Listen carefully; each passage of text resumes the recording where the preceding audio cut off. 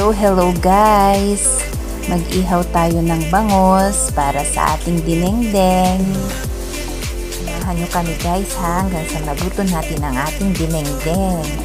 Ang main ingredients po ng ating dinengdeng ay ang bagoong at saka pwede po natin itong lagyan ng sitaw, ng saluyot at saka ng ampalaya.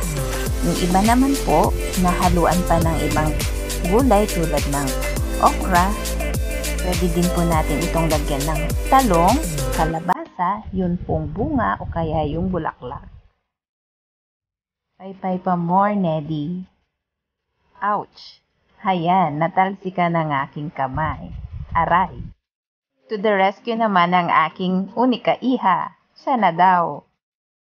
Ayan guys, malapit nang maluto ang ating bangos. Naku, sigurado masarap ito. Ito na guys, naluto na ang ating bangos. Inihaw ko na rin yung para sa ating dinakdakan.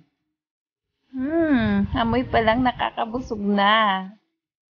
Ang dinakdakan naman po ay isa ring Ilocano dish. Ang sangkap po ng ating dinakdakan ay mga parte ng baboy.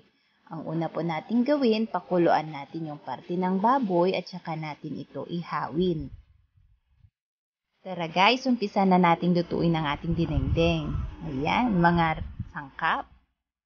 Mayroon po tayong saluyot, ampalaya at sitaw. Ayan po yung ating inihaw na bangos.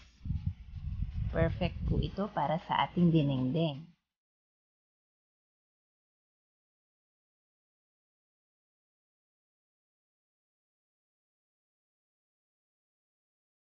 Yan, ready na po ang ating mga gulay. Nahugasan na po ito. Maglagay po tayo ng tubig sa isang kaserola at pakuluan po natin ito. Lagyan na rin natin ng bagoong. Ayan guys, tignan nyo. Ito yung pinakuluan nating tubig na mayroon ng bagoong. Hmm, kakatakam. Ilagay na po natin ang ating inihaw na isda, tsaka isunod po natin ang ating mga gulay. Unahin po natin yung saluyot, Katapos po yung sitaw at saka yung ampalaya. Ito na po ang ating dinengdeng.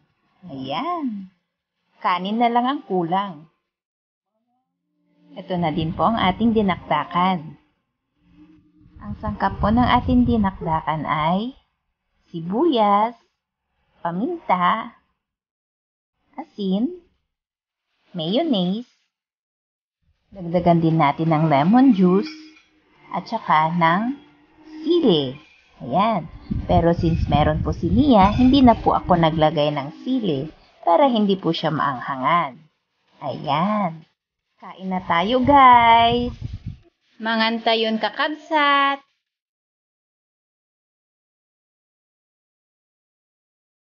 Tara guys, magtanim naman tayo ngayon. Tingnan natin ang ating mga halaman. Ayan medyo natagalan bago ko sila naasikaso. Kaya ngayon, free tayo.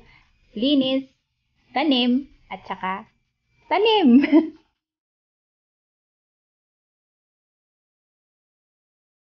Tara po, samahan niyo po kami at magtatanim po tayo. At tignan niyo na rin po ang mga iba't ibang uri ng halaman na meron po kami. Ayan,